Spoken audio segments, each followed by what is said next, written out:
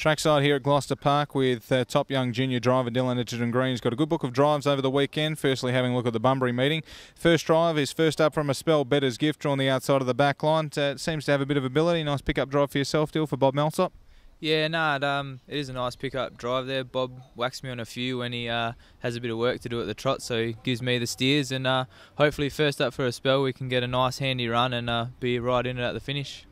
Second drive is the Confederate Lady, a. She's in a pretty uh, hot sort of race. It's a good field. She hasn't got too much gate speed and can't do much work in her races, but uh, things fall into place for her. Do you see her earning? Yeah, well, being that that field's quite hot, there um, should be a fair bit of pace on early. So if we can find a little hole and just get a nice little cuddly run, she can usually hit the line pretty quick over the last 200 and be finishing into it. And your third drive is uh, Levi Judd. He was a very good run at uh, Narrogin last start took uh, all the pressure and he still ran fifth and only just missed a place. Uh, you must be happy with how he's coming along. He's getting ready for a win. It's not that strong a race. You, could you see him going all the way here? Uh, yeah, 20, 25 or 2600 there, it sort of suits him down a bit more. Um, his run last start, as you said, was quite good. Um, but yeah, we'll just be driving for a little bit of luck, and then if they sort of back off, we could probably pop around and make a race of it. But other than that, we'll just be uh, sorting it out and trying to finish as close as we can on Monday at Pinjarra. You're driving, you got me in the first. This horse has been uh, all around the mark in the place getting and just behind. Uh, not an overly strong field. Suitable race for this one?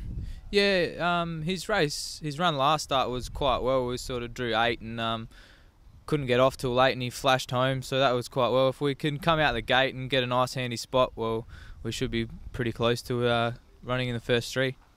Harper Grace is in the mares, drawn the pole. This horse has been crying out for a barrier draw for Dave Thompson. Main danger is Palomino drawn the outside, but uh, from one, you'd be pretty confident. Yeah, uh, we'll be definitely trying to hold up in this one, I'd say, without speaking to Tomo. But going on recent form, that looks like what we'll be doing. And she's uh, ran some quite good miles, and hopefully uh, we can get away with a little bit and just dash home and be too good for them. Gran Torino's uh, for Dave Thompson as well. It's been racing really well. You drove it to win two starts ago. Showed a bit of pace on that occasion. Not that fast a front line. Would uh, think about maybe the chance of going forward. Oh, there's every possibility there, but we uh, did kind of go back last start, so we'll sort of just suss it out on the day, and um, hopefully we can get a nice little run. He's sort of better saved up a little bit, and then coming home, and he usually hits the line quite well. Better Party resumes barrier three. Good race. Majorly Foxy sticks. Better rules and uh, also horses like uh, he's right here right now in deluxe edition. Uh, first up, has uh, Greg or Skye spoken to you about how the horse is progressing?